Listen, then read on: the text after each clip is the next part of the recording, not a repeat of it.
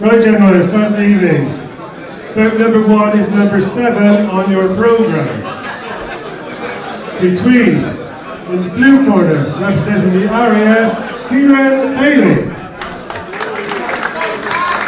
And in the red corner, representing Emeralds, Connor Gray.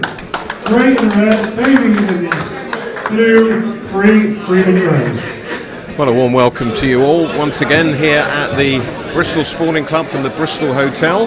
We're underway with the first show of 2019. This is Nigel Turner with you, and alongside me is Craig Turner. And once again, no relation. We're still looking through the ancestry there, but we're definitely not connected.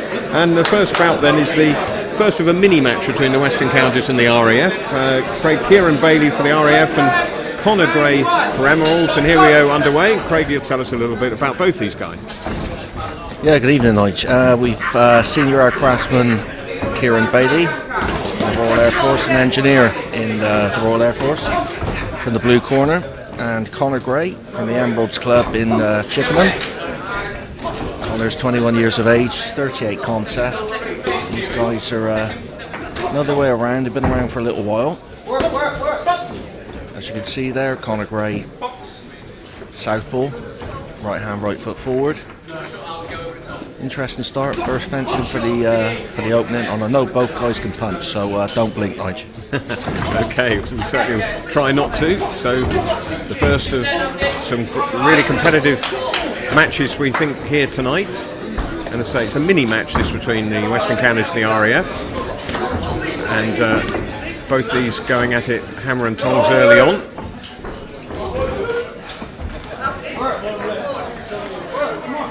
Bailey for the RAF will trying to avoid that fierce counter from his op- opponent Connor Gray.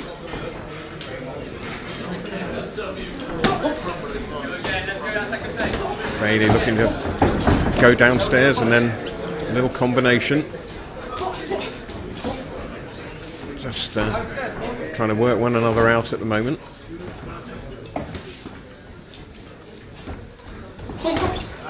Hush descends over the room as the two boxers go to work. Good fast hands from Bailey. Good movement from both boxers here, Craig. Yeah, this is class. You can see the action's just starting to slow now as the guys step off and uh, start picking their shots. Good head movement there. Kieran Bailey's got that switch off there, which uh, on more than one occasions I've told him about when I've coached him previously. But uh, as you can see, both guys, the adrenaline's just dispersed a little bit now and they're settling down to their work. Yeah, so good movement, evading the punches, but uh, also anticipating what's coming next and looking for an opening to throw some of their own. There's a good jab coming out from Bailey once again. Nimble foot movement.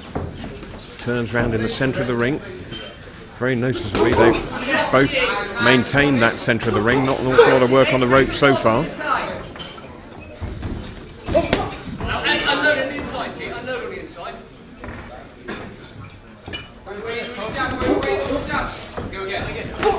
A little bit cat and mouse, but uh, good right hand coming in from Bailey for the RAF.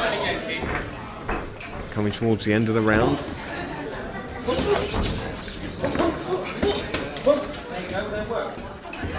Working hard. Good foot movement, good head movement as well. 10 seconds till the end of the round. Looking for a good finish there, Bailey trying to turn his man.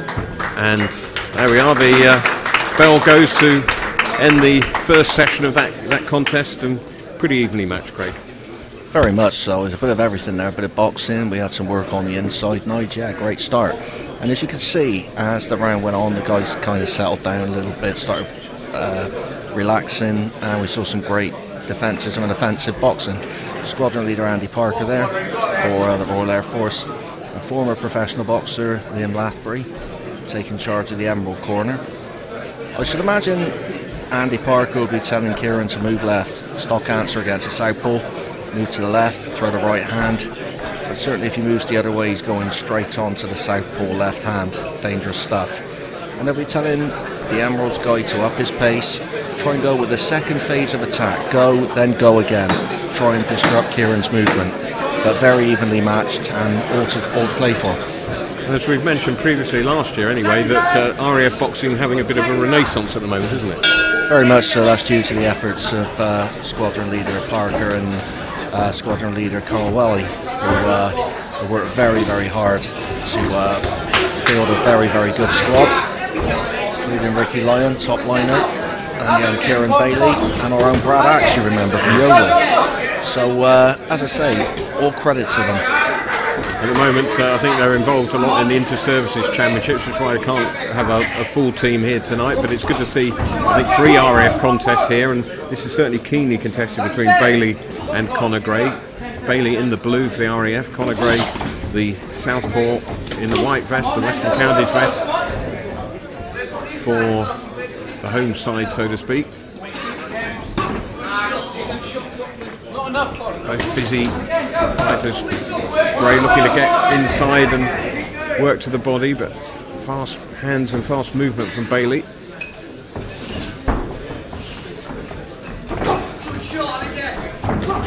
Hand looking useful from Bailey there. Got through a couple of times. But some good defensive work from both boxers going in here keeping up a reasonable pace as well at the moment. Another good right hand from Bailey, gloves up from Gray to protect himself.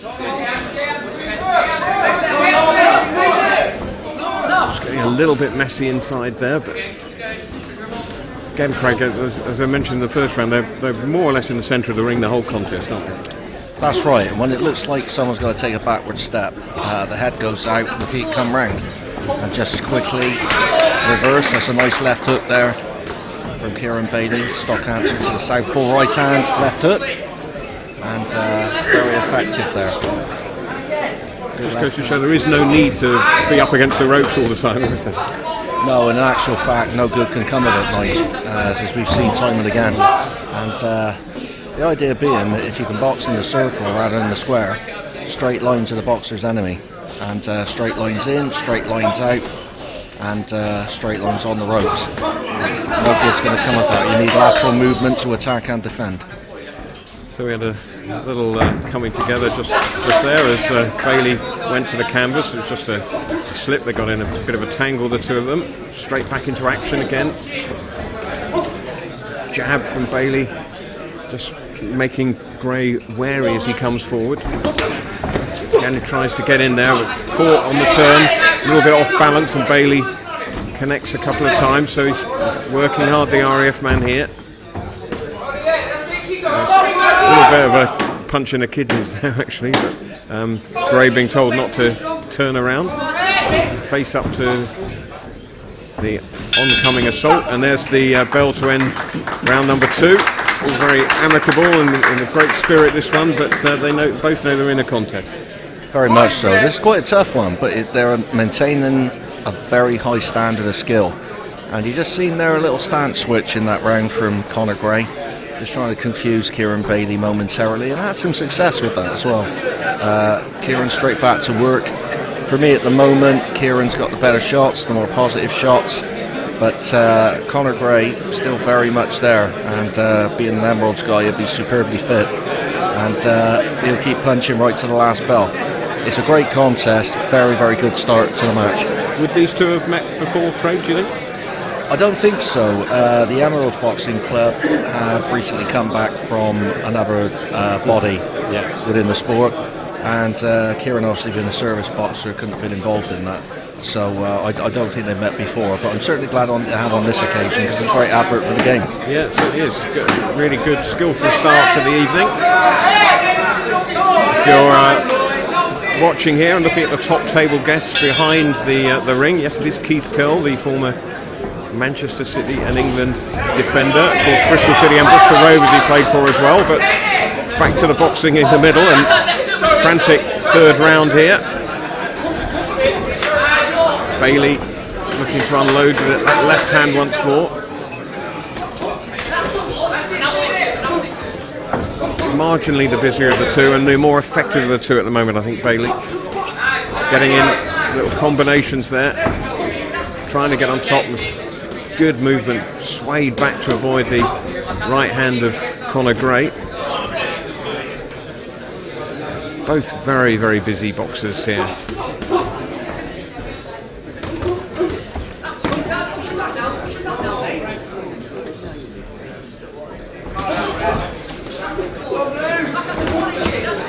Left hand over the top by Bailey.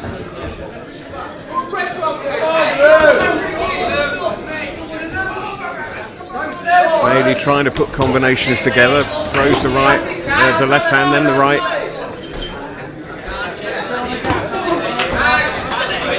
Just making Conor Gray miss a few times now.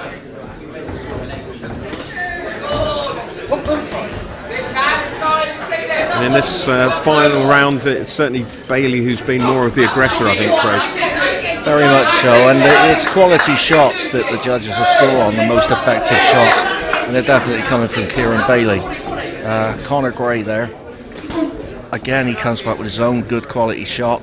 It's a lot to pay for there. I think the extra experience, because Kieran's been around a little bit around the club circuit as well as with the RAF, the, the more um, varied competition yeah, probably shows here. But as I say, Conor Gray by no means making the numbers up. This is competitive right till the last bell. Certainly is. Bailey, one feels just accelerating down the home straight. Really impressive, compact performance. Uh, referee calls a halt, a bit of a tangle. Bailey retrieves his left arm and now straight back into the scrap and good, good work by Conor Gray there as well, throwing out plenty of leather. Bailey coming in, looking to land some shots of his own. Solid shots from both boxers landing.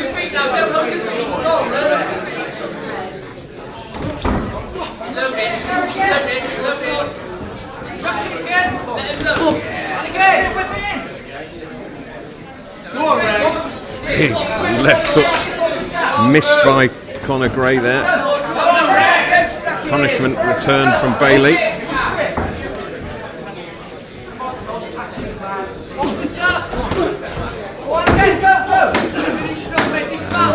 Ten seconds to the end of the round, and for the first time really in the entire contest, Gray backed up onto the ropes as the bell sounds, and uh, both of them breathing pretty deeply there after what was uh, an extremely competitive and uh, physical in a sense of always being active sort of round. That's right, there's three three minute rounds and it was very, very busy from the opening bell. Having said that, not at all messy. And as you quite rightly say, Nige, we didn't see any action off the ropes uh, because it was continually moving rotationally. So uh, there's a lot of good technical stuff there, and it's a great start. So let's see what our judges thought of that one. Thank you, ladies and gentlemen. The result of number one is a unanimous decision to Bailey in the blue corner.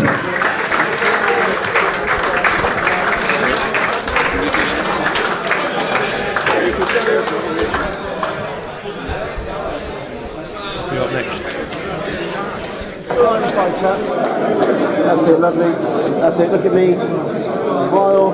John, look this way, lovely. Couple more. And again. Perfect.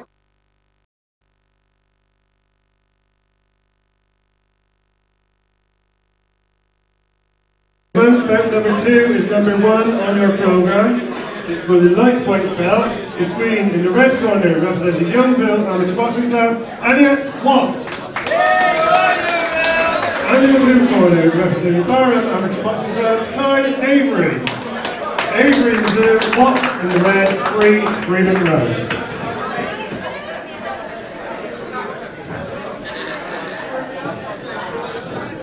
So here we are with the second bout on the card tonight, the first uh, Bristol Sporting Club uh, boxing show of 2019. We've already seen one very exciting and fairly close uh, contest, uh, Craig, haven't we? And that, that was a good start to the evening.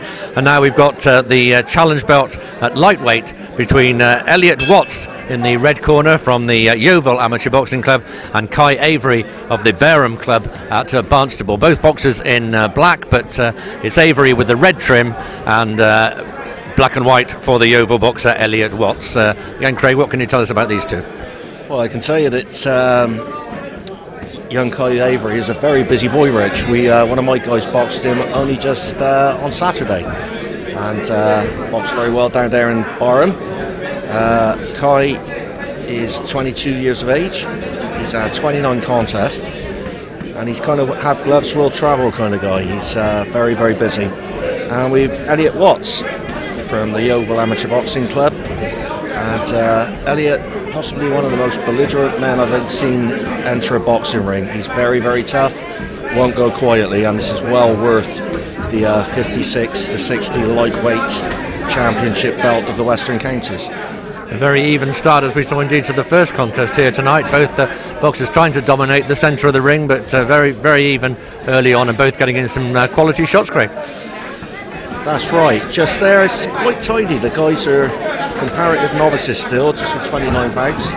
As you can see, Avery is the aggressor, trying to force the pace, whereas uh, Elliot tries to get behind the jab.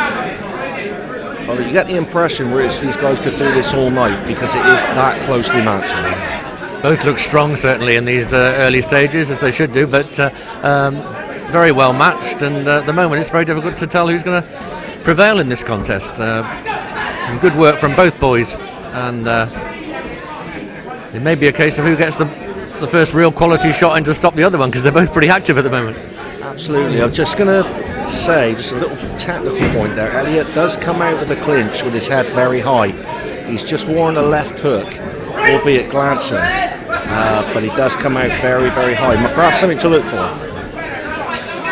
All action again in this second contest of the evening at the uh, Bristol Sporting Club. I say the first uh, Sporting Club show of the uh, new year or 2019, and uh, we're getting some really, really hot action right from the start. Uh,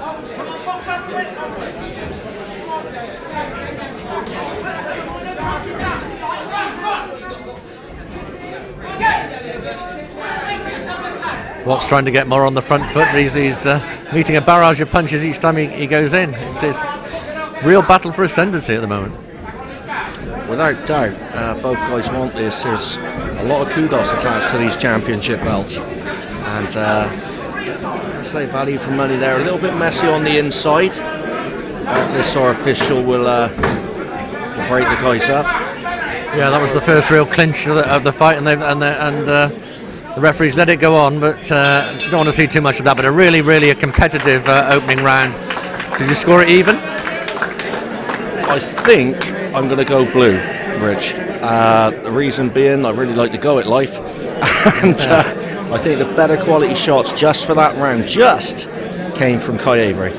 So, what do you think is going on in the Watts corner at the moment? Then, what will they be saying to him? Yeah. Well, my good friends Dave Nardiello and Dean Trott from Yeovil will be telling uh, young Elliot just to keep his head down, to try and get behind his long levers, get behind the range, because he boxes superbly well. He's very technical when he's allowed to.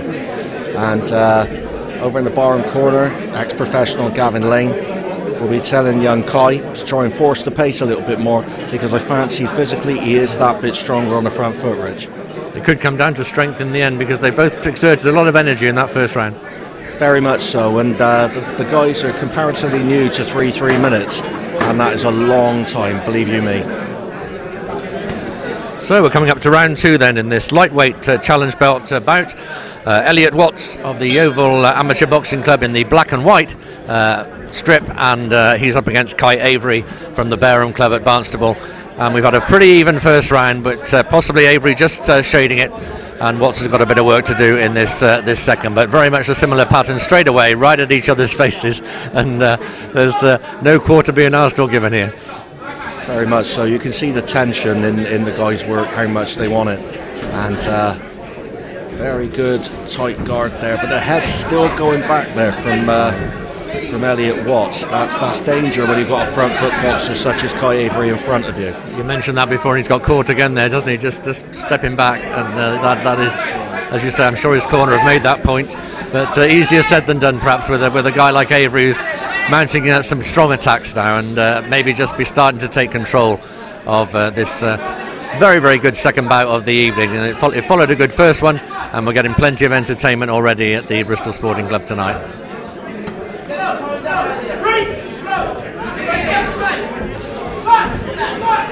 A lot of close contact work, isn't it, uh, Craig? There's not really been somebody really landed a clean, really clean blow yet, but uh, a lot of strong stuff being done on the inside. That's right, and it's wearing stuff. If you're getting uh, arms and gloves hit, it still takes a lot out of you, very tiring.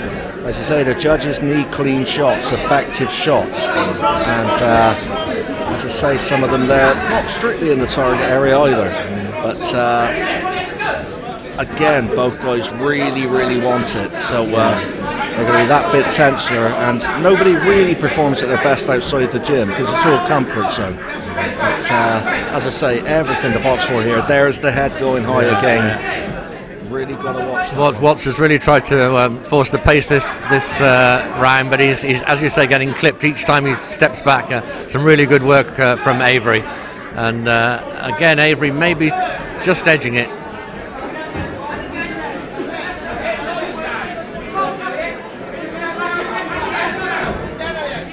Again, Watts trying to get on the front foot. He's, he's, he's doing his best to sort of reverse the trend of the first round and get and get uh, get in uh, Avery's face. Right, if you were to see uh, Elliot Watts when he stands off and uses his jab, he's got very, very effective straight shots. But how difficult is it to do that, Craig, when you're up against an opponent like this who's, who's basically coming in like a bull at you for all the time? so. Uh, yeah, because Kai very cleverly is smothering the work, taking the, the range away from Elliot Watts. And uh, there you can see a very, very good jab.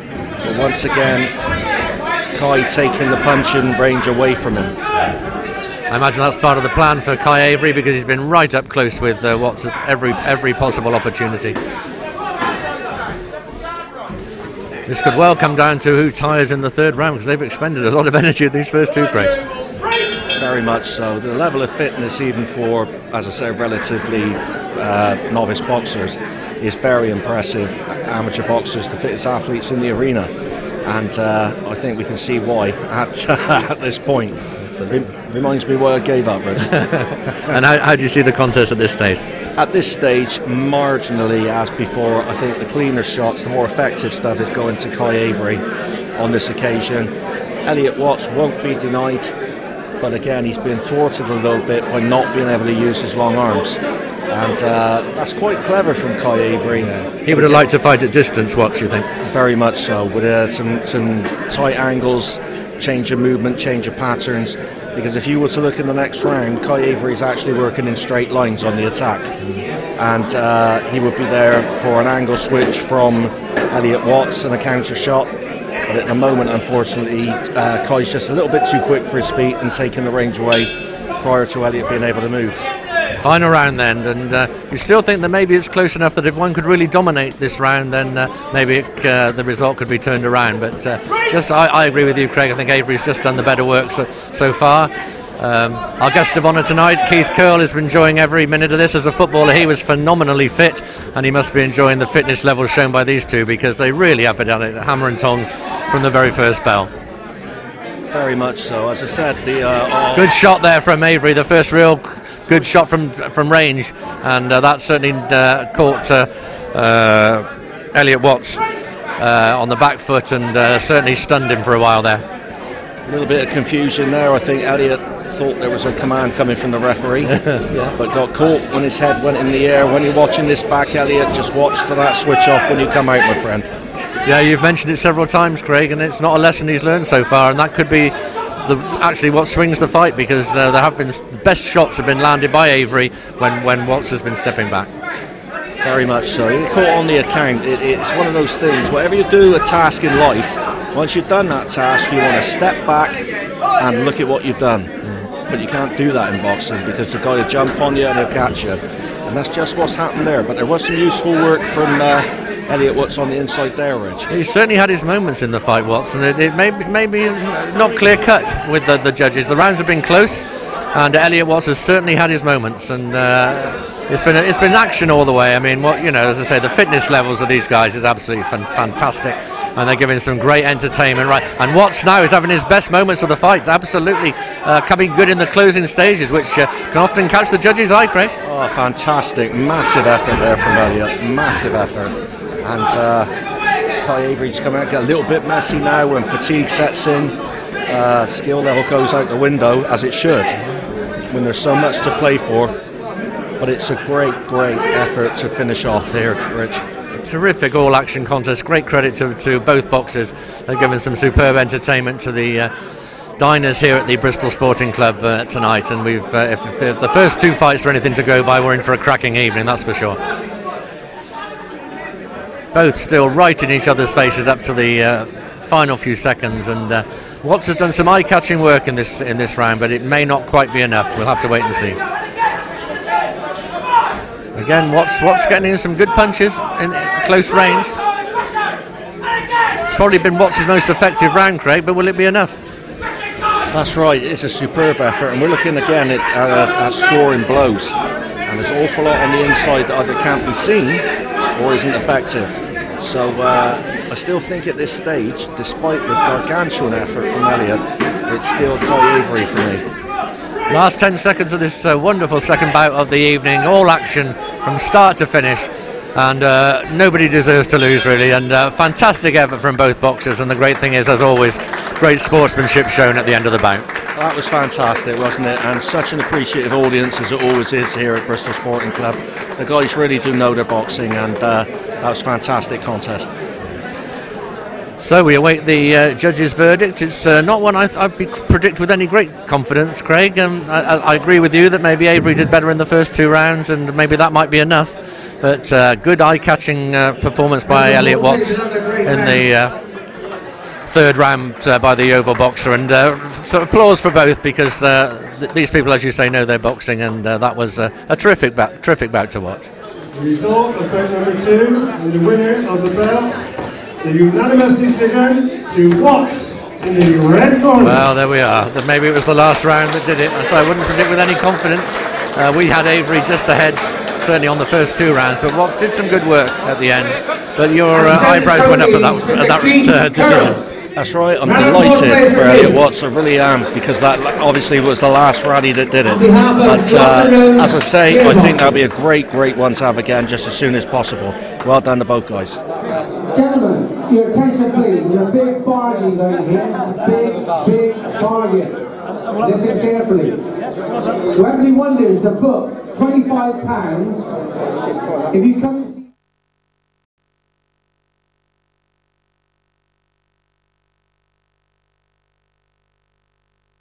Between the red corner and the holder of the belt, representing the Divided Service Boxing Club, Harry Edwards. Under the blue corner, representing Baker Street English Boxing Club, Emil Davis. Davis in blue, Edwards in the red. Three three-minute rounds.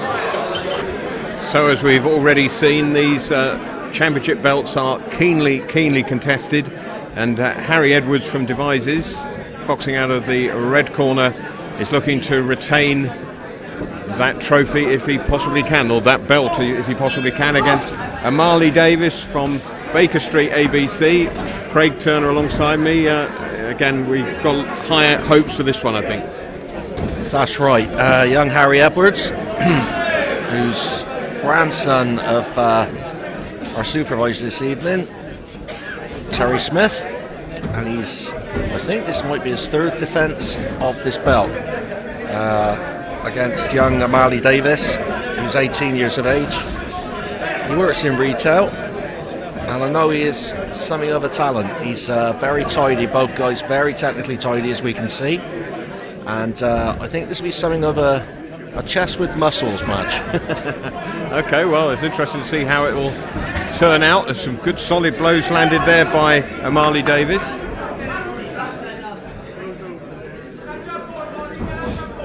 both in the orthodox stance. Right hand from Davis over the shoulder and misses. Both trying to get the range. Edwards just on the retreat there, making his opponent miss.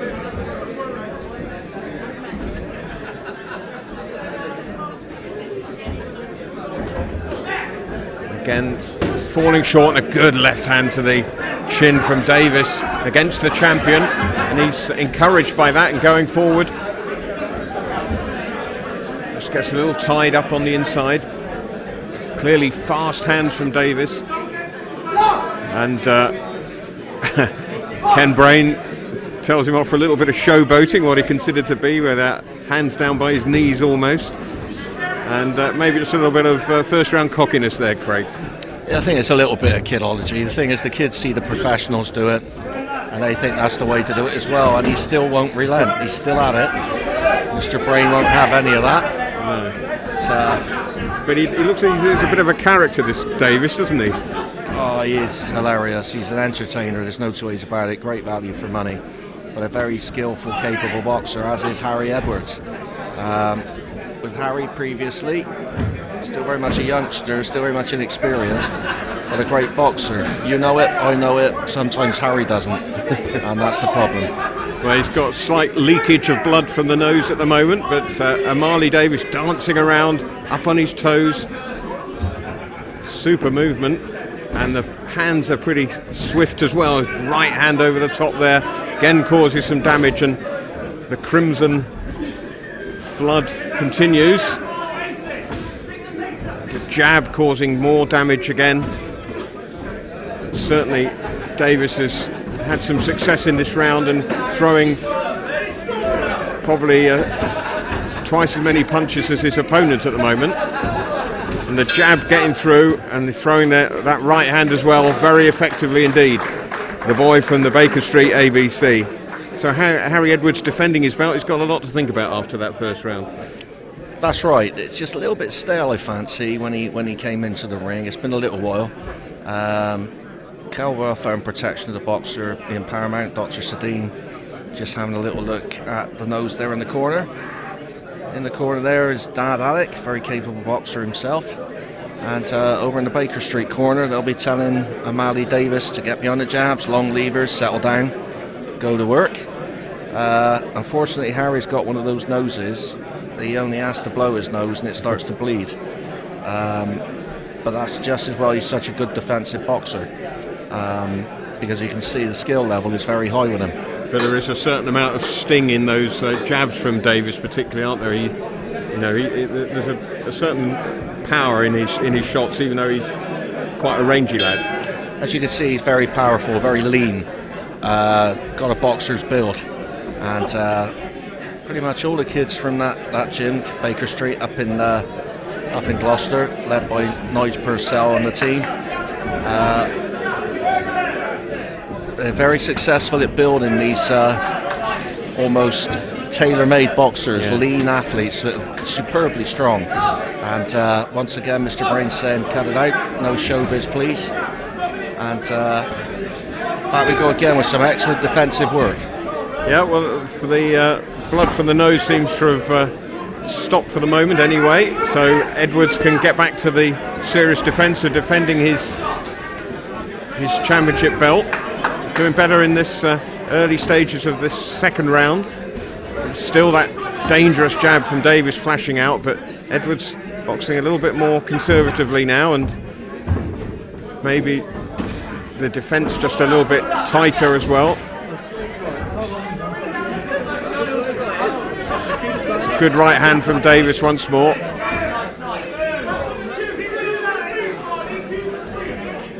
Both boxers a little more watchful in this round, but still that's a punishing jab from Davis and Edwards struggling to counter it at the moment. Getting picked off as he tries to come in and land some shots of his own. But it's the uh, swiftness to the punch which is giving Davis the edge in my eyes just at the moment. Edwards though working hard there. He's got to get inside a little bit more I think and try and nullify the uh, perhaps longer reach of, of Davis and try and work inside a bit more Craig because he's very he- uh, he's very open to that jab isn't he? We need fast, explosive attacks. Try and unsettle him, Addy Davis. Box, box, box, go, then go again, Yeah. and uh, just try and set the trap, bring him in, counter and away. Because if you stand there in front of Addy Davis, you get the impression you're going to get hit hard. Yeah. So uh, better boxing there from Harry Edwards. As you can see, he's got fast hands, he's very capable, but the strength of Davis is proving a little bit tough at the moment. Yeah, certainly is. So Edwards with a mountain to climb at the moment. Still blood coming from his nose once more. Just shows the number of times Davis has connected with the jab and sometimes with the, the backhand as well. Just feints and then throws the right hand. But Edwards in a quandary because he knows he's got to land shots himself. He can't just spend the contest avoiding the fast hands of his opponent. But uh, game effort and acknowledgement of that from uh, from Edwards to his opponent. And uh, fancy the Davis's corner has got to come up with a plan, Craig. That's right. I think that the, the phases of attack to go, go again, then back on your bike, let him come, and then go back at him straight away after the attack. If you look at O'Malley Davis, he tends to fall in should he miss. Such is his strength. He throws himself over the front foot. So it could be that he's open to a counter there. Just a push away on the front foot and come back counter. You know, that that's uh, everything to play for there. Easier said than done from out here, Nige. Yeah. But um, especially when you, you're being hit hard and fast. Uh, but again, two immensely talented kids. Well, I think the superior strength at the moment is just winning it there for O'Malley Davis. Yeah, he clearly wants it, as does uh, Edwards want to retain the, the belt. Here we go, the final round then. Third round of three in this uh, championship contest. O'Malley Davis in the uh, the grey singlet.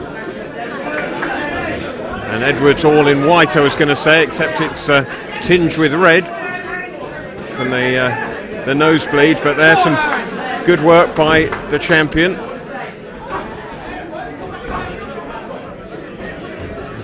Got a boxer move, get some of those combinations in, try and rock Davis out of his stride if he can. Once he's on the inside, he's got to land, but in, instead gets forced back into that corner. And Davis landing plenty, good two or three punches landed by Edwards though there as he turned away from the corner. Ken Brain keeping a close eye on the, the damage there, and uh, Davis shakes his head as if to say, no, that didn't that didn't connect. Just probably clipped on the tip of the chin. Edwards uh, just looking a little weary. Good left hand from Edwards, but caught himself on the inside.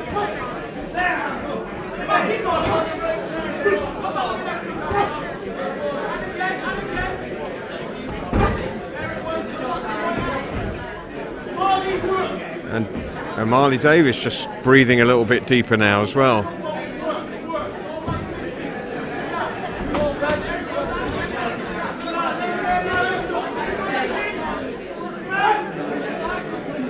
Both feeling the pace just a little bit. High tempo all the way through so far.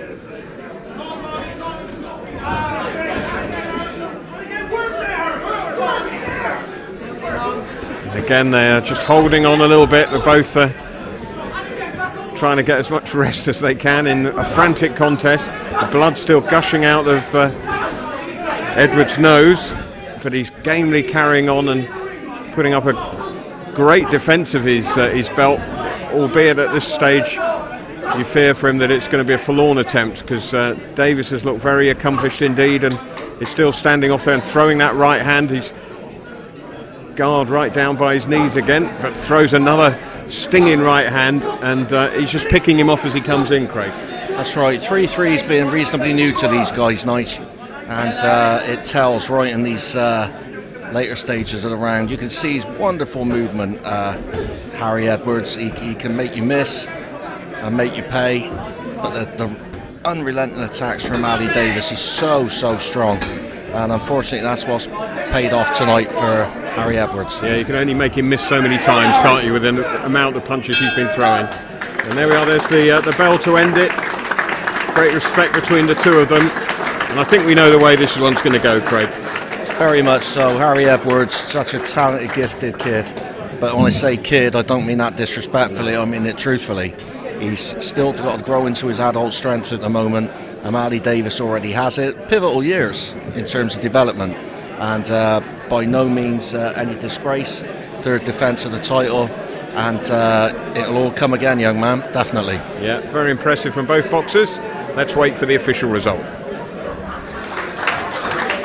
Ladies and gentlemen, the results bout number three is a split decision in favour of Davis in the blue corner. And he wins the white light welterweight belt.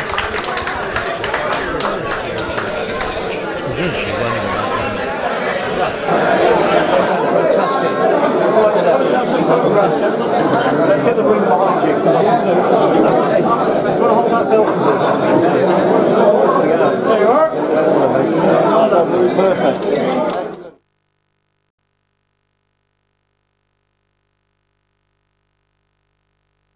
Three on your program is for the welterweight belt.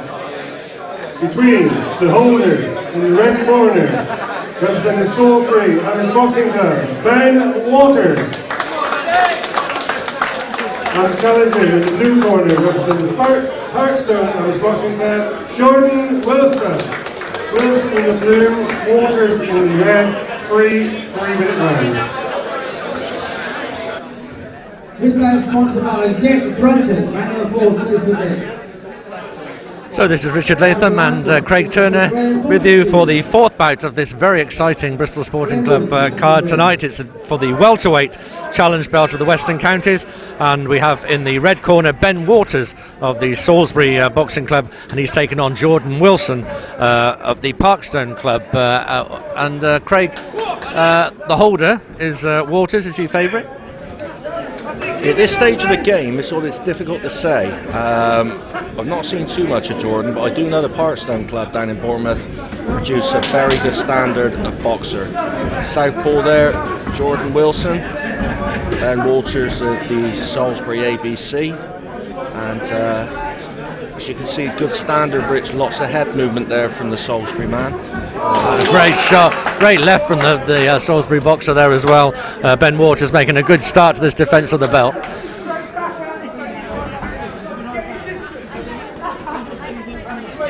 He's certainly looking the business in these opening stages. Is uh, Ben Waters uh, from uh, Salisbury, and uh, he's all struck with another good left there, and he's got his opponent in some trouble early on. And uh, at the moment, this looks like it might not last too long, Craig. Could well be, but the Southpaw weathers the storm. Uh, stock answer there, slipping the Southpaw jab. and Walters coming back with a right hand left hook. And uh, Jordan just there for that. Watch the left hook. That could be quite dramatic, I fancy. That looks the punch that could uh, decide this fight, certainly in the early stages. He's got in a couple of, of really decent left hooks as uh, Ben Waters. And uh, although he's taken one on the uh, in return there from uh, Jordan Wilson, who's certainly not going to go down without a fight, but he's taken uh, two or three hefty blows already in these opening stages. Jordan Wilson in the black vest, and uh, the holder of this belt, Ben Waters, so far uh, looking very impressive uh, in defending it. And uh, another another big attack, another big attack from Ben Waters, and uh, he's certainly trying to uh, intimidate his opponent in this early round and, and early part of the fight. And another left hook there, and really Jordan Wilson's got to start avoiding these, Craig, or he's, or he's going to be taken out. That's right. He needs to keep the front and high, uh, keep the feet moving. In a way, at this stage, let his head clear. Not the best start, but it's nothing that can't be put right, providing that he makes this guy miss. And uh, believe you me, Rich, if I was in there, that's what I'd be doing, trying to make him miss. So uh, He's just another very solid left again from Ben Waters there, and it's that left hand that's really dominating this fight the. Another one there. He's, he's uh, really used his left to uh, to good advantage in this uh, opening round, and just changing there and getting a, a right in, leading with his right. But uh, as I say, the, the left has been the dominant punch certainly of Ben Waters in this uh, opening round.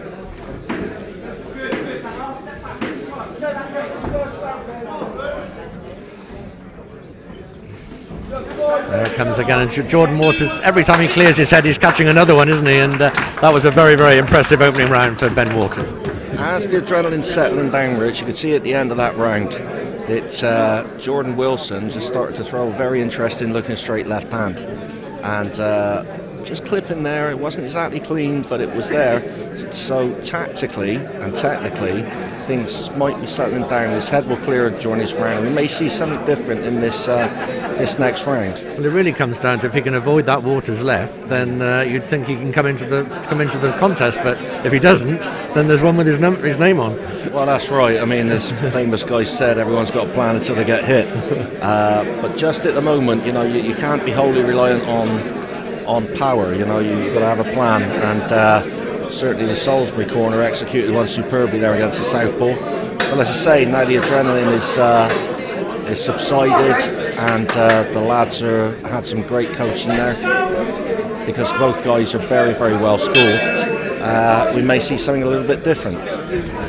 Round two, then, in this uh, battle for the uh, challenge belt in the 64 to 69 kilos category. Ben Waters, the holder, again starting with some good left hands and good work in this uh, second round. And Jordan Wilson, who's shown he can take a punch, that's for sure, uh, looking to uh, get back into it.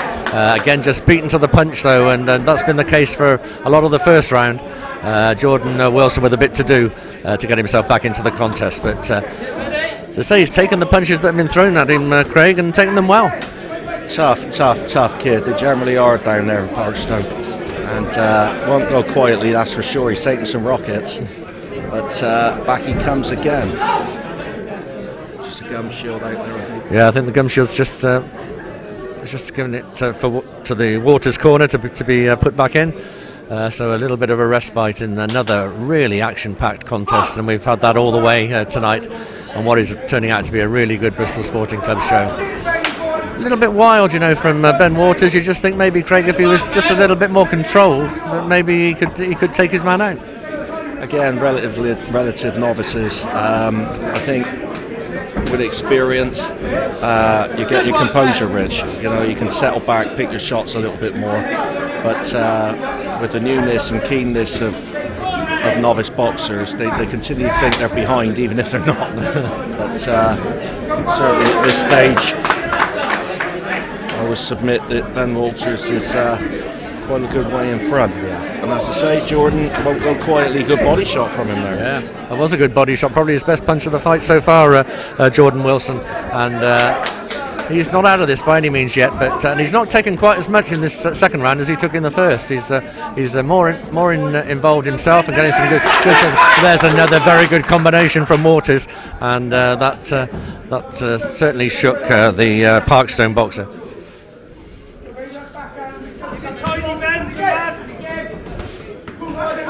Somebody's shouting, keep it tidy to uh, Ben Waters, and that's probably the good advice, isn't it? He's just a little bit ragged at times. That's right. And I've noticed that uh, he does come rushing in there. If Jordan Wilson dropped his head to the back foot through the left hand, things could get interesting. That's if you've got the presence of mind and the experience to, to look at that. Yeah, that's, that's more or less what he was trying to do there, and it's, uh, it's a more even round this second one, and uh, Jordan Wilson will take some heart from that.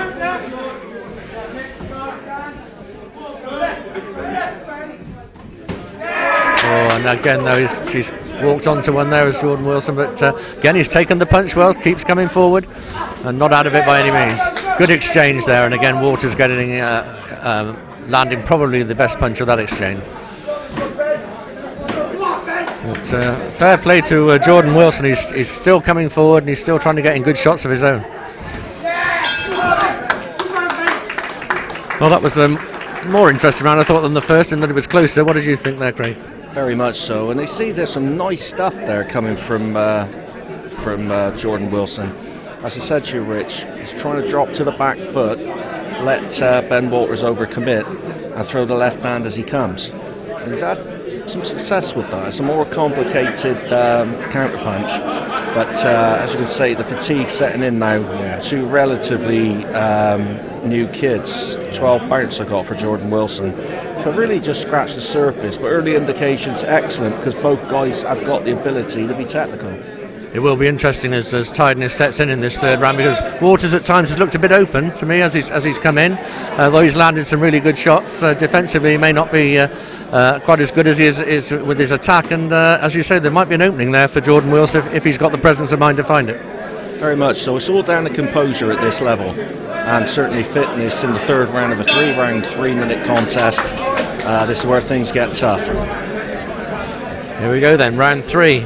And uh, it's been action again all the way, and it's been that all the way from the start of the show tonight here at the Bristol Sporting Club. Some excellent contests, all closely contested.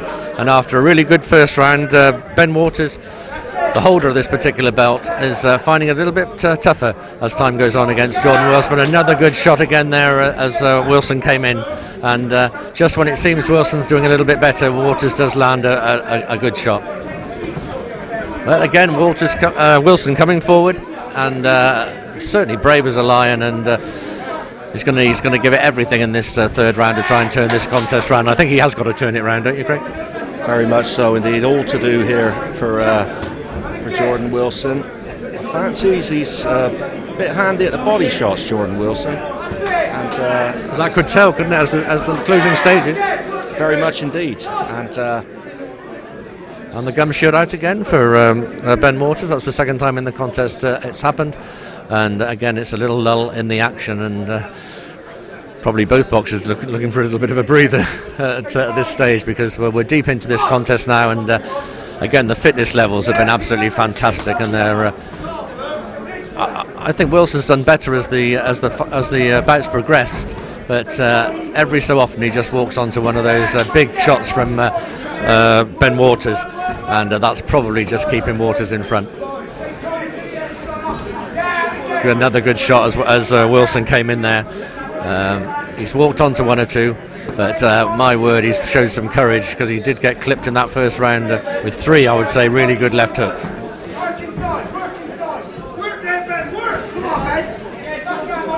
Could be that uh, Wilson may be finishing the stronger because he's uh, he's still walking onto it, and again, wonderful fitness levels and, and bravery from both uh, both boxers, but uh, again, just possibly Waters landing the, the cleaner blows. Yeah, again, another immense effort. Great right hand there from uh, Ben Walters. Interesting point you made, though, Rich, that uh, Jordan Wilson got better as the contest has gone on. Uh, the adrenaline goes, the strength goes, your fitness goes, or you've got to fall back to technical and tactical work. And I think that's probably where we've seen the best of him technically, um, because he's up against it. Uh, so ultimately, Got another halt in the fight now. Is, is, is that another gu- gum shield come out? It is. It's uh,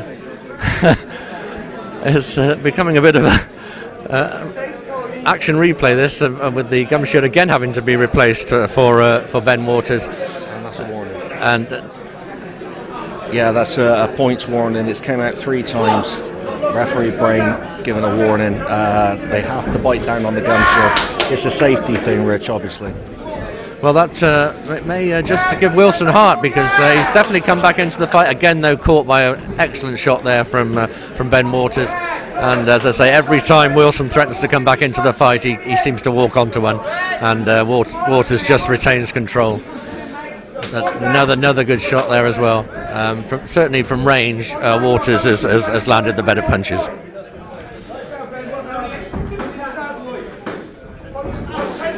Last 10 seconds of this wonderful contest again, and another thriller here at the uh, Bristol Sporting Club. And Waters looking to finish strongly, but also uh, Jordan Wilson, great credit to him.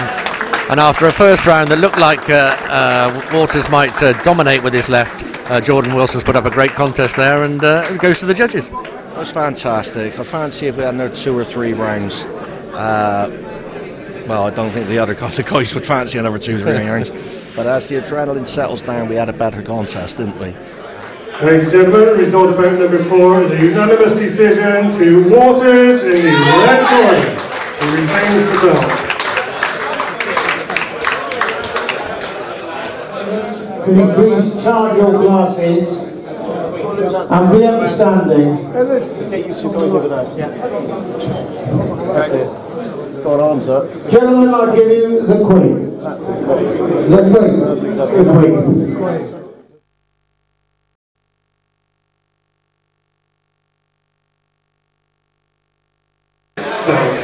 Between the red corner representing Glasgow Amateur Boxing Club, Darren Jackson.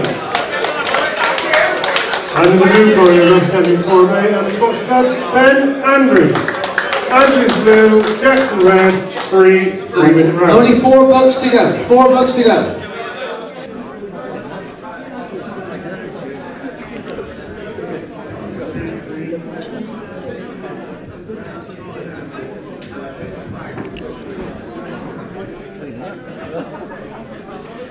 So here we go then with our next contest. Darren Jackson against Ben Andrews. The latest of our championship uh, belts being contested here at uh, the Bristol Hotel on this Bristol Sporting Club show. Uh, Craig Turner alongside me. Craig, uh, tell us about, about these two boys, please. Well, we have Darren Jackson, have newcomer to amateur boxing, 39 years of age. Can box uh, up to your 40 these days, but in terms of his fitness and ability, he's a much younger man. and uh, it's a seven contest, and we've got Ben Andrews from Torbay. General builder, the bigger of the two men in the blue. Darren boxing from Southpaw Stance. And both guys going right for it from the workout one, just a little bit south of the border there. So uh, Darren Jackson is quite literally not a spring chicken, but he's he's boxing like one. Immensely fit and uh, very, very hard man. Uh, I've seen him on more than one occasions and enjoyed his performances. And uh, but it doesn't really matter what age you come into the sport, you're still a relative novice, and uh, that's what these belts are there for. And the guys very much enjoy competing for them. Yeah, it must take a lot of guts to get in with all these younger guys, and uh, he's got a battle on his hands here against uh, Ben Andrews.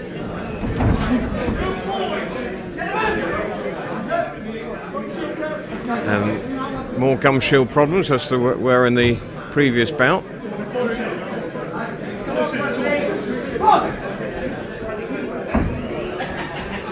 Jackson in the the white vest.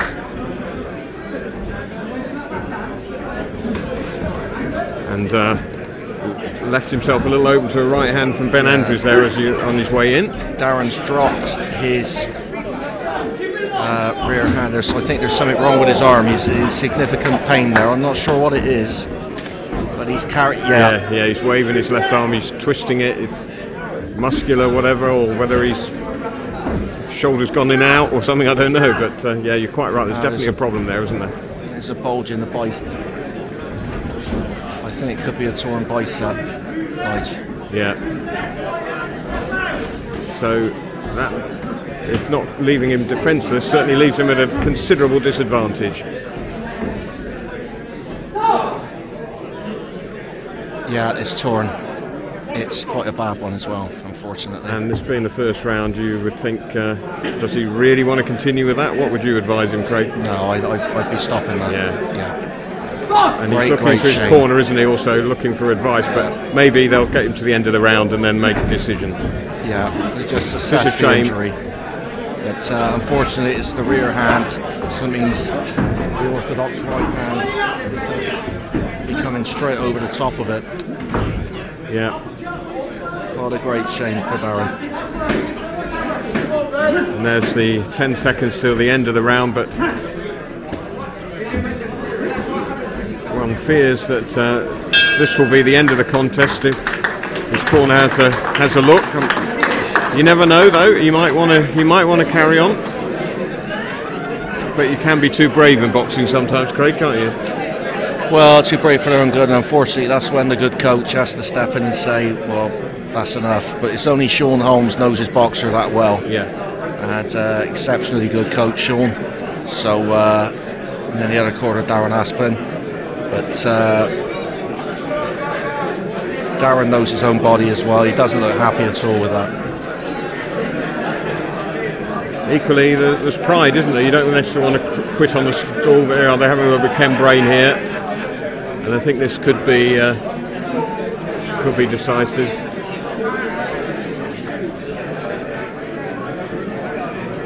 I think I think that's it, isn't it? Yeah.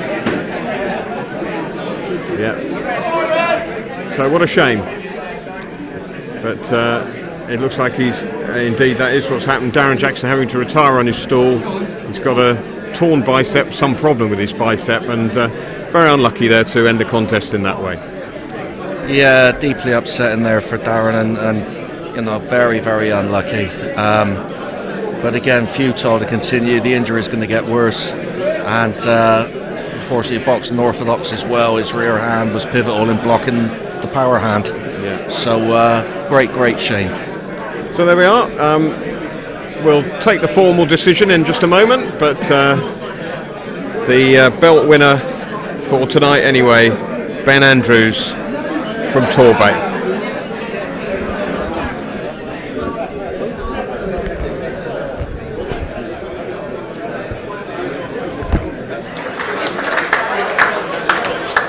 Ladies and gentlemen, result of this bout, the referee stops the contest with an injury. The winner is Andrews in the blue corner.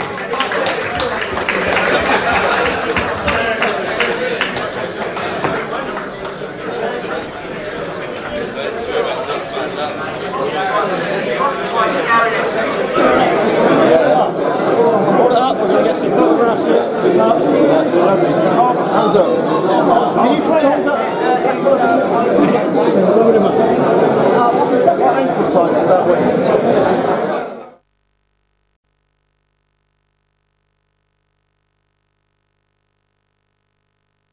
In the heavyweight play, uh, belt. Between, in the red corner, representing and his boxing club, Mark Cooper. And in the blue corner, representing Parkstone and his boxing club, Jake Roth.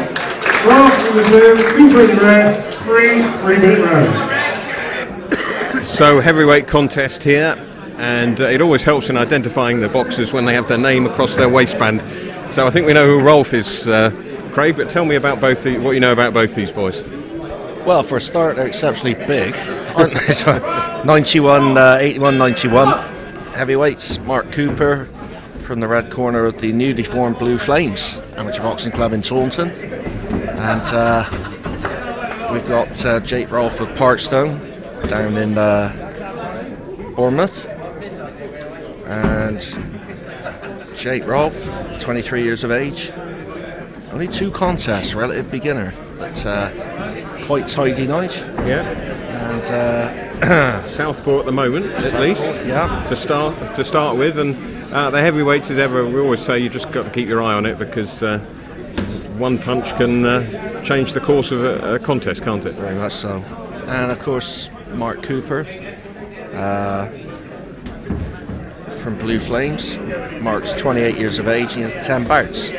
Bricklayer by trade. And I can imagine he can shift a few as well from day to day. Yeah. So at the moment they're just uh, having a look, seeing what the opposition is going to provide, and Cooper, slightly the taller of the two, certainly uh, straighter stance anyway, stood straight up. Ralph sli- sli- slightly crouched and looking to get that backhand into action. Throws out the, the right jab, and then there is that left hand that comes in over the top, just clips the side of Cooper's head. It's a dangerous weapon with the, the southpaw, but certainly getting pushed back onto the ropes there as they try and unload. But you can tell that uh, both are just a little bit wary until they've sussed out the opponent properly. And, and already that uh, left hand from Rolfe looks like it could be a potent rep- weapon if he uh, sends it off in the right fashion.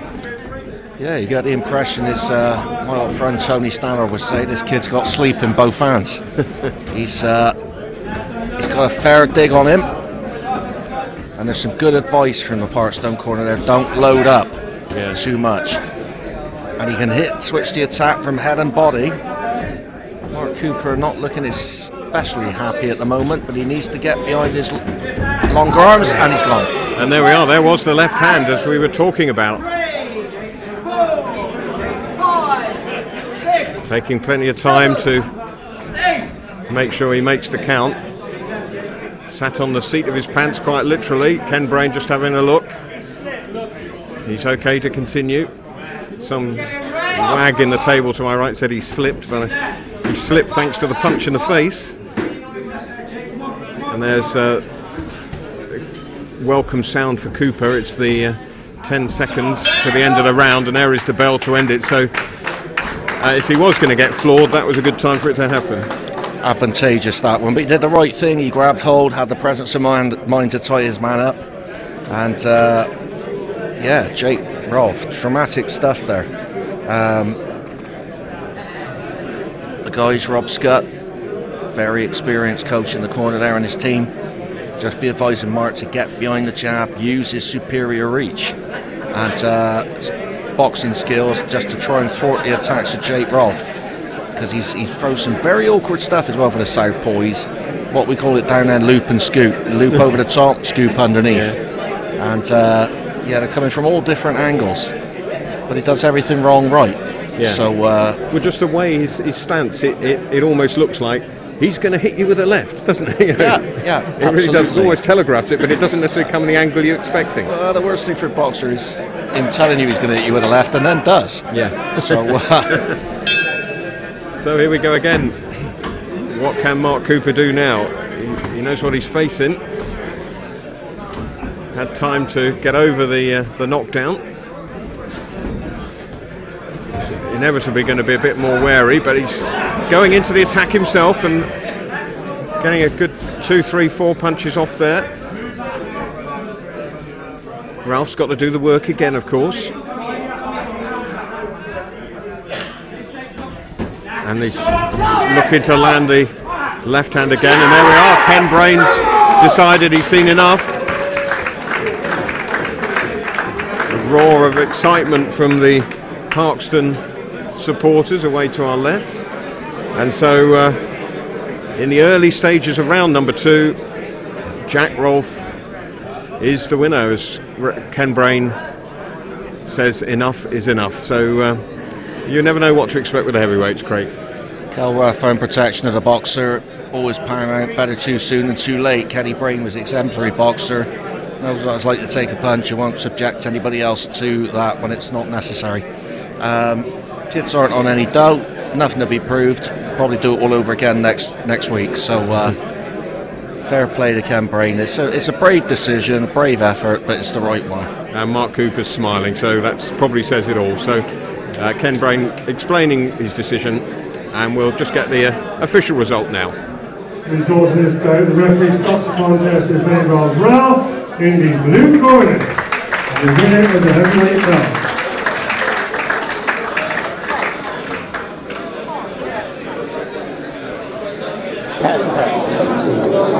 Here's my man, right behind you, John. Right, guys, so get you move that way about three or four feet.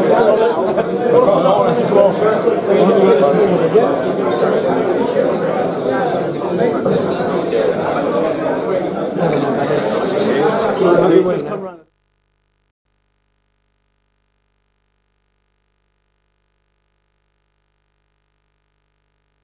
Round round is a middleweight contest on three two-minute rounds.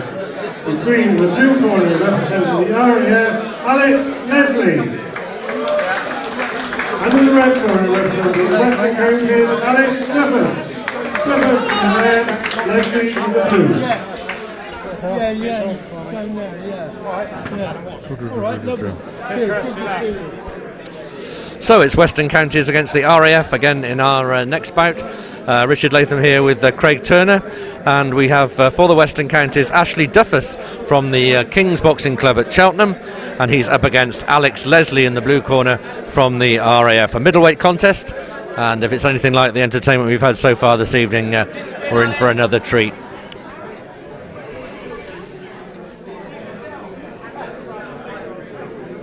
So a little delay before the start, Craig. So tell us what you know about these two.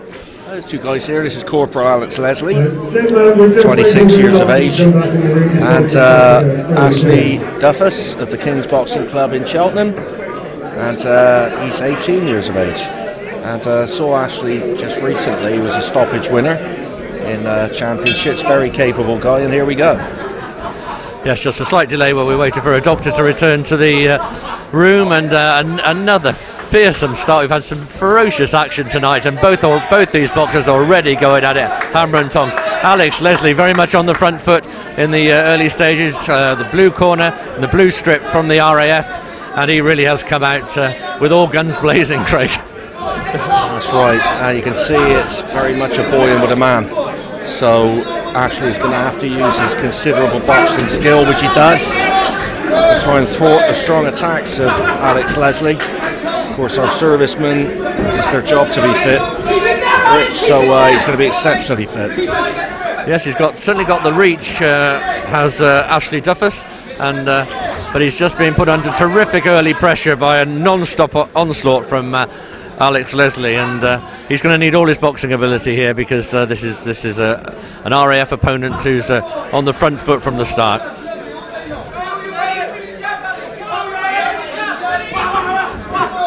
Good stuff from Duffus, a good combination, and uh, you'd really need to see him using his reach here, Craig. He's got a considerable reach advantage. Very. Very, very clever guy and very quick as well. And uh, he can't hold his feet. He must go off at the angles, not hold his feet, doesn't want to be there because this guy really wants to uh, work on the inside, short to mid range. Yeah, fascinating contrast of styles here because you can see that Duffus would prefer to keep it at distance, and Leslie is certainly not has no intention of letting him do that. Uh, but he's been caught coming in a couple of times uh, by some good shots from Duffus, and uh, it's an interesting uh, contrast in styles. This one. Very much so. As you can see, the technical ability uh, definitely comes from Ashley Duffus versus strength and maturity from uh, Corporal Leslie. A really interesting first round. Leslie right on the front foot from the opening bell, but uh, Ashley Duffus just growing into it and uh, producing some good combinations of his own uh, as the uh, round went on. And he, he looks quite a stylish fighter, doesn't he? He's a talent, Rich, uh, and a young talent, which is good for Western Counties boxing. Uses his height and reach well, good pair of feet on him, uses different angles, and uh, relative beginner. Not had too many contests at the moment, but early indications, certainly on the talent pathway, are excellent for him. Possibly still growing as well at that, age. I mean, he could get even taller, and uh, he's, he's, he certainly looks the part, but he's. Uh, He's got to be his defending defense has got to be good tonight because uh, that that was a ferocious onslaught early on. But I wonder how much energy uh, you know Alex Leslie's used up there because he, he really went uh, went at it like a bull, didn't he? In the first uh, first certainly first half of that round. Absolutely, and when you're hitting elbows and gloves in thin air, that's very very wearing. But one or two got through there, and it's equally as wearing on Ashley. So uh, the youngster, yeah, he's got to keep boxing. He's got to thwart this. Is the bull in the matador. So a really good test here for young Ashley Duffus, and uh, good, good, excellent combinations there, and uh, he's certainly uh, he can unleash them uh, very at, at speed, as can Ashley Duffus, and uh, very impressive uh, couple of combinations there from him. Back comes Leslie with a good uh, right of his own, and uh, this is a really fascinating contest. Leslie trying to get past that long reach of, uh, of Duffus, and when he does, he, he lets rip inside. But again, a good left there from uh, Duffus, and uh, there's a good deal of style about this boy. I really like the uh, look of him, and uh, for a novice, Craig, this is an impressive start. Very much so. He's very, his hand speed is excellent. And he's very, very clever. You can see a little walk around there, and a little look, look for the opening, and there it is. Shot selection's absolutely superb. He's overcome the uh, real storming start made by Alex but now another good attack by the RAF uh, boxer, and he's got through there with a couple, and uh, Leslie uh, Duffus is holding on, uh, and that. Uh, that certainly uh, hurt him, that combination from Leslie. But again, Ashley Duffus boxing on the back foot, but sticking out that that left hand and following it up with really good hand speed, as you say, and that's uh, that's the impressive part of his performance so far. Uh, Leslie won't be denied; he keeps coming in, but he's catching some on the way in, and uh, not an easy fight to call this one at the moment. And a good shot there from Leslie as uh, Duffus just left his chin out as he was backing away, uh, but. Uh, all action from Leslie, but Duffus, as I say, looking really stylish and uh, handling his opponent really well, I think, for a, for a young boxer. It's just fantastic, and you know, being 18, he's, he's only just started to box as a as an elite, as a senior, and uh, just holding his own with his superbly fit, mature man, and uh, just starting to fade a little bit now. A good shot, right uppercut as he came in. Great. Absolutely cracking shot there at the end of that round from uh, Duffus, and he's produced some real quality uh, boxing in this uh, bout. But uh, you have to feel that Leslie may have the superior fitness, possibly being in the RAF, and it might tell in the third round. We shall have to wait and see. But whatever happens from here on, uh, uh, the first minute or so was all Leslie, and uh, Duffus has done well to come through that and uh, and produce some really good boxing of his own. So uh, something to build on here, Craig. Whatever the outcome. Very much so. I mean, the, the way that he dropped his weight to his back foot and brought his opponent into the right uppercut there is an immensely difficult shot. But to have that composure and have that sight so early in his career is just unbelievable. And I'm going to say, uh, definitely Ashley Duffus, don't sign anything yet because we want you on the Western County squad. He's breathing heavily in the red corner just in front of us is Ashley Duffus, but uh, I'm not surprised because he's been put under a lot of pressure by this uh, terrier-like uh, RAF boxer, Alex Leslie, who's certainly been in his face at every opportunity, but has uh, taken a bit uh, on the way in on occasions and hasn't stopped Ashley Duffus looking stylish, look, showing great hand speed and looking a great prospect for the future. So we're coming up for the third and final round. And uh, really, I think it still could go uh, either way, this contest. It'll be very interesting to see how fitness comes into it now. Uh, Craig won it in this final, third and final round. Very much so. In terms of clean punching, there's three jabs there. As the, uh, the airman comes in. We Go again, just a newness there. He tends to be diving on his work a little bit. He needs to use his feet. Go back to range. You really don't want to be there, Ashley. Keep it long. Yeah, so difficult to keep this opponent off him because he, he really is. Uh, he walks through punches, does uh, Alex Leslie, to get in those of his own. Another great uppercut there from uh, Ashley Duffus, who's produced some real quality. Another one again. He's, he certainly favours the uppercut, Craig, and he's produced some crackers. It's just immense. It's such a natural shot for him, and uh, as you say, it's, it was a big ask for a, a youngster in with a, you know a, a, fully grown man. I say man, you know, mature man. Yeah. Good shots from Leslie just above us there as he came uh, towards us, and uh, Ashley Duffus had to take those, but he's shown he can take a punch as well, uh, and uh, this is a tough examination for him, but he's coming through it pretty well. The the airman's going to be in front of him all night long and a gum shield out. We've seen a pattern of that this evening. Yeah, absolutely. And uh, one or two of the bouts have been interrupted in this way. Um, and again, it gives the fighters or the, the uh, boxers just a breather. And Ashley Duff is leaning on the uh, ropes above us, and he certainly looks like he could do with that. And uh, this could be the toughest part of the uh, the contest for uh, Ashley Duffus this last minute or so. Very much indeed. And this guy's been hitting him hard right the way through, and the uppercut again.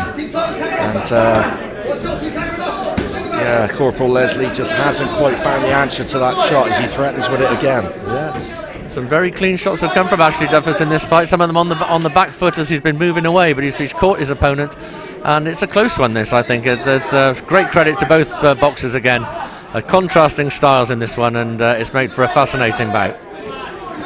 Leslie's trying to finish the strongest, trying to make his fitness tell, but Ashley Duffus on the ropes and he's, he's, he's, he's been told to breathe deeply by his corner, and this is the going into territory now that uh, Leslie will favour. I think the uh, the final few uh, seconds of this fight. Uh, 10 seconds left in a wonderful contest, and some great shots being uh, put in by both boxers again. Uh, terrifically entertaining contest, and probably the best of the night so far. And there's been some good ones. That was absolutely fabulous, regardless of any decision at all. Ashley Duffus what a talent for the future, Rich. Absolutely heartening to see that amount of ability and talent coming through our programme in the Western Counties. Yeah, I've really enjoyed watching him uh, this evening, and uh, we'll be looking out for uh, future bouts involving Ashley Duffus because that was a real tough examination by a very, very fit RAF boxer.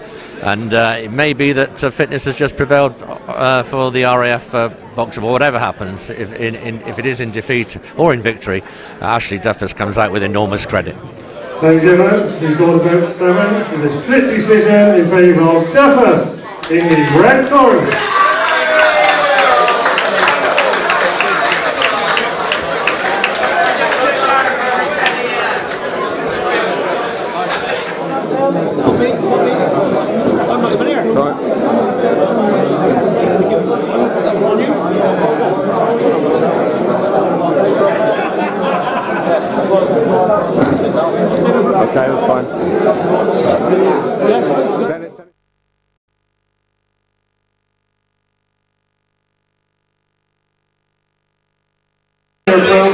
welterweight contest of three two-minute rounds between the blue corner representing the area, Kenny Norman, and in the red corner representing the Western Counties, Billy Bridgman. Brisbane red, Norman blue. Three two-minute rounds. So the penultimate contest of uh, the evening. Seems to have gone by quite quickly. We've seen some spectacular boxing, some uh, a couple of early finishes, and uh, who knows what's going to happen in this latest bout in the match, the mini match between the RAF and the Western Counties. Billy Bridgman for the home side and Kenny Norman for the RAF. Uh, Craig, as ever, has all the stats on these two. Yeah, Billy Bridgman of the Wells Amateur Boxing Club, 21 years of age, eight contests, orthodox. Uh, we have senior air crewsman Kenny Norman, Royal Air Force, 25 years of age, nine bags, orthodox also. Both guys trying to get their long reach off. Some nice shot selection there from, uh, from Billy Bridgman. Bit of a barrage coming in, but the RAF man coming back. But uh, at the moment, it looks like Bridgman really wants to take it to Norman, and he's doing so pretty effectively in a flurry of punches, Craig. Very much so. Very open for the jab. He's uh, moves very well, does Billy Bridgman, and uh, very well scored by Clive Gadd and his crew up in Wales. As you can see, he's first to the jab every single time, and there's very little opposition against it. No. Norman's just basically on the back foot all the time, isn't he? Evasive action, not really getting the opportunity to throw his own shots because Bridgman is basically chasing him down across the ring, pinning him up against the ropes, and a little smile on Bridgman's face shows he's enjoying it. And as you say, uh, Norman seems quite open, straight down the middle, Craig. That's right. The newness of the guys, as you say, kind of uh, nine bouts, eight bouts. Learn, learn pretty quickly. If you don't move your head, your opponent will do it for you. And uh, that's what we've got at the moment. Very literal upper body movement, Nige. But that's the newness. Yeah. That's the novice. So there are Bridgman's tagged him again with another right hand, and he's in a lot of trouble in that corner.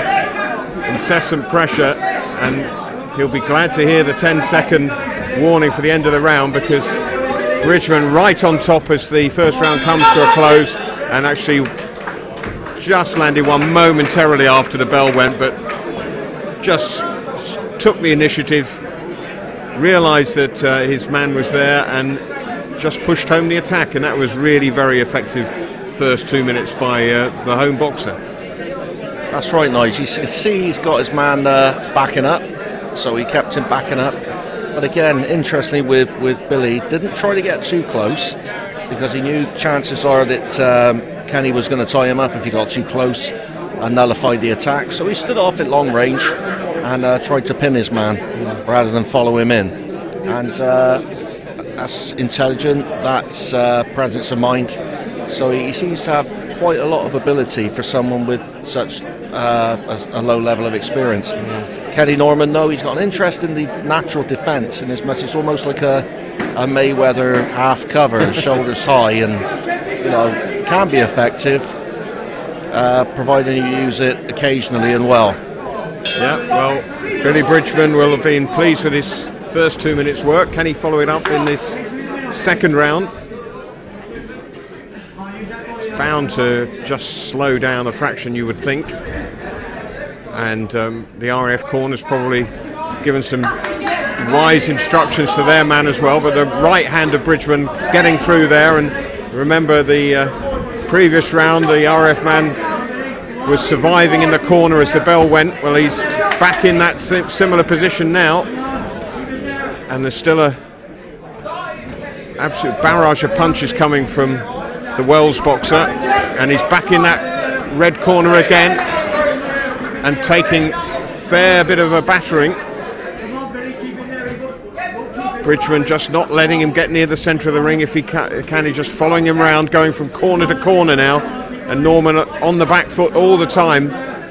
All he can do really at the moment is defend. A very gallant effort, it must be said, but uh, he really hasn't got the time to react as left and right hands come in from Bridgman.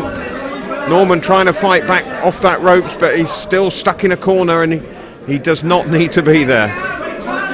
He needs to step away, turn a little bit and get back into the centre, but Bridgman just chases him back across the ring towards us and um, he, he really just can't get away from the ropes, Craig. Sorry, some damage to the uh, right eye there of uh, Billy Bridgman. That's uh, works on it close quarters, and it accidental. Good left hand.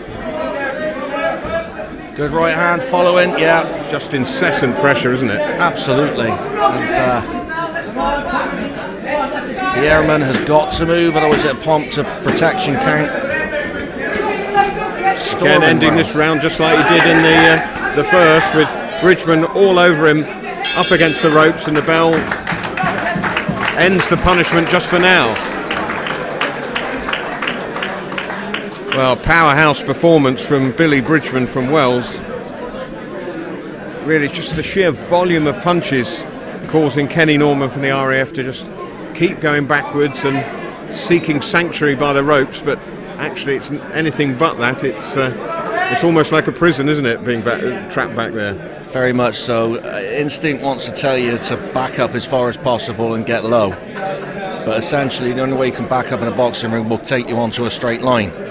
So almost fight in nature instead of, of going back in a straight line. You know, you've got to go to the sides, but it won't occur to, to lads of this little experience.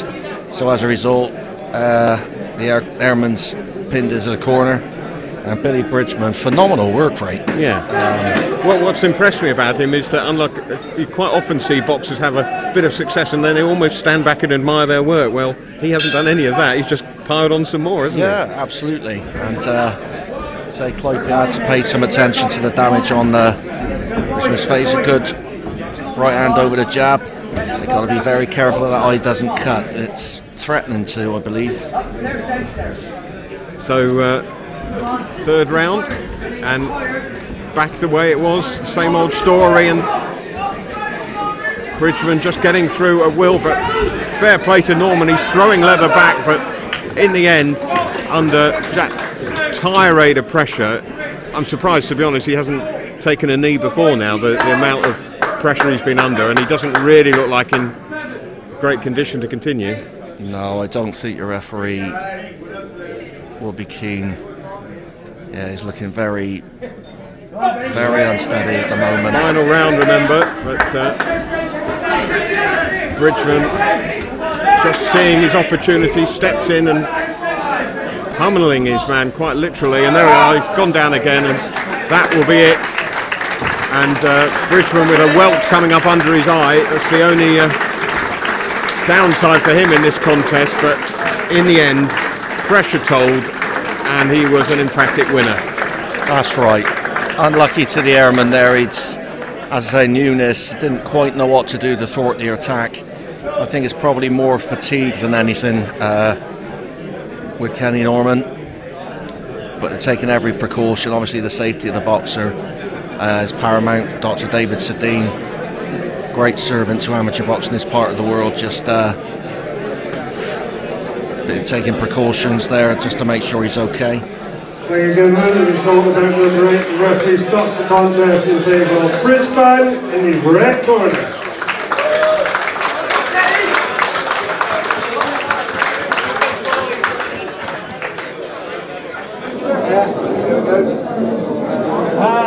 Straight back. Can we get this back to the doctor, please? stopped to get to the doctor? Yeah, yeah, yeah. I mean. Quick me.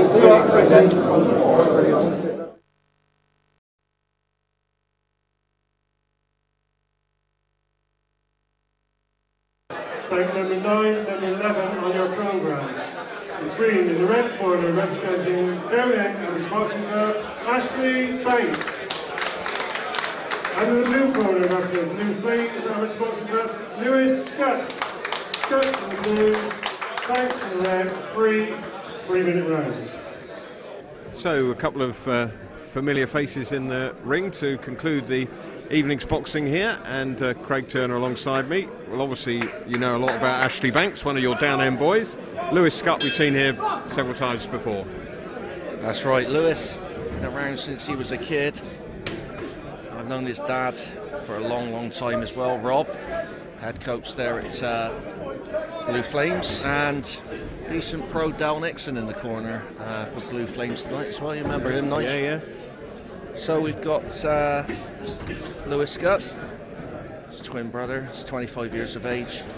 It's a 43 contest now. With Ash Banks, who's 20, 25 bouts. He's a medical engineer. He's just on placement in Bristol at the moment. He's uh, known to produce uh, surgical instruments, so a clever guy. So a real cut and thrust from him tonight then. Oh, I like that. Nice. That was, that was seamless. Lovely. So certainly Scott's a big lad, but uh, Ashley is putting in some uh, telling jabs.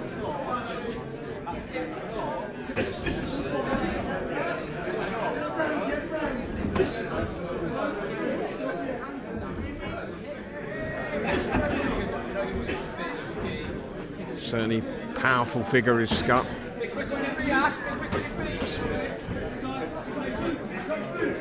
Ashley Banks moving neatly round the exterior of the ring and landing decent little combination there, trying to get round the guard of Scott. Got his gloves held up high. Right hand from Banks, testing the defences. Scott rather launching himself with that left hand, but off balance.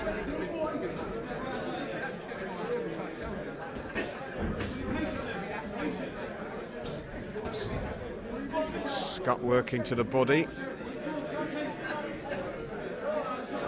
Lots of head movement from the Blue Flames boxer.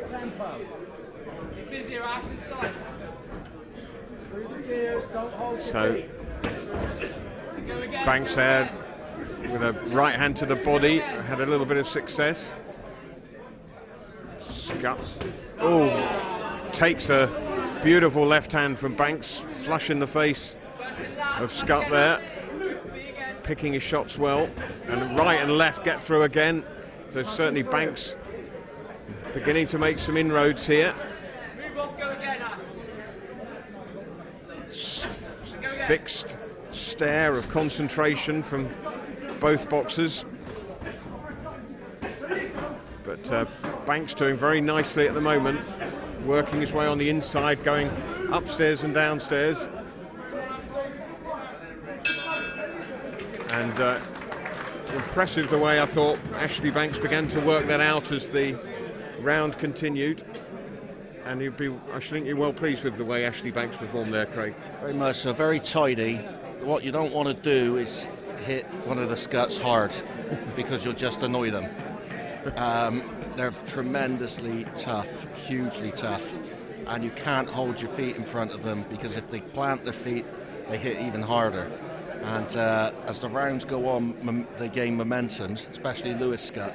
So Ash has still got to be very much on his boxing and uh, variety of shots and disguise his shots as well. he doesn't want to be obvious. Yeah, well, there was plenty of variety in that from him, wasn't there, in that first round? Very much. He switched the attack, but uh, forgive me, I'm always nervous when the name Scott's mentioned for one of my guys because they, they hit with both hands and are exceptionally tough and Yeah. fit. Yeah, he's uh, he's well built. Is Lewis Scott? Ashley Banks. Ashley Banks. Oh, there's a big left hand to the body straight away from Scott, but Banks responds with some of his own. Head down from Scott, charging in, being picked off by good shots from Banks, the busier boxer at the moment in terms of number of punches Triangle. and uh, Banks keeping on the move. Round to his left at the moment. Again, right and left to the body, to the ribs of Scott, covering up. Scott trying to uh, cut him off down the ring, but uh, Banks has turned nicely, but then got turned back onto the ropes.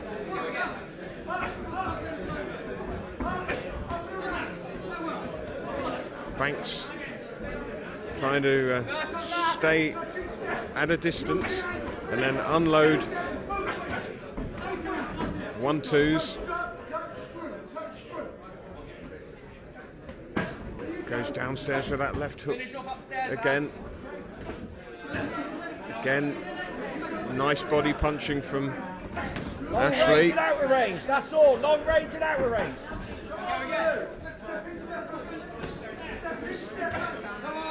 Don't be there. So again, Ashley Banks in the centre of the ring, trying not to trade with Scott, but almost getting uh, hauled into too much on the inside. So everyone's calling for him to stay at distance, keep moving. He's done well so far, but Scott maybe greater physical presence is certainly a danger in close. Scott not taking a not taking a backward step, just trying to get in close and land. Banks just trying to uh, land and then get away and then dance around the ring a little bit more. Doesn't want to be on the inside, but he's not averse to uh, going downstairs to the ribs and getting Scott a little bit tied up. The danger is being too close for Ashley Banks. Just keep that distance between them, but Scott trying to cut it down. It's an intriguing contest, and solid left hand from Scott gets through to the body. Bring him up. Uppercut from Scott. Again, a lot of hard work by Banks, moving all the while. Scott just coming through with all that physique. And uh, again, Scott was trying to draw Banks in close there, and Banks was doing his damnedest to stay at distance, and it was an intriguing little uh, mini contest there. That's right. They'll walk you down, they'll walk you down, they'll stand on you, and they'll wait for you to fade. And that's exactly what's happening here. Um, Lewis is just going straight towards Ash, trying to wear him down as best he can, take his movement away from him, and he's having success at that.